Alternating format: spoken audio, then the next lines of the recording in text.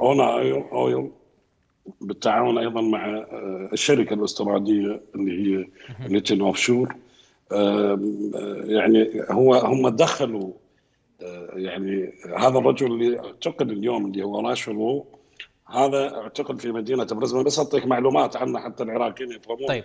ماذا حصل اليوم في سيدني. تم اعتقاله في مدينة برزبن وبعد أن جمع هذا الملف تسع سنوات أستاذ أحمد الشرطة الفيدرالية الأسترالية تسع سنوات تحقق في أموال العراق المسروقه، تسع سنوات يحققون وشمل عشر دول، هذا الملف عشر دول.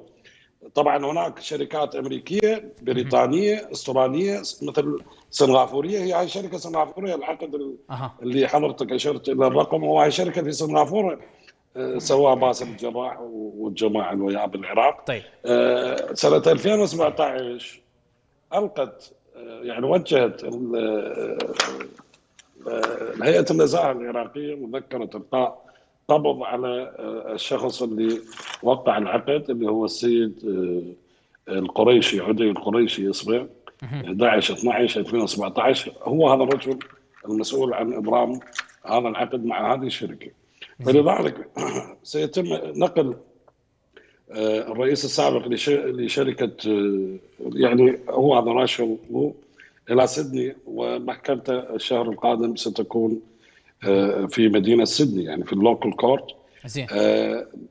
شخصين أيضا وجهت لهم اتهامات من أستراليا. نعم. واحد منهم في آسيا والشخص الآخر في أوروبا.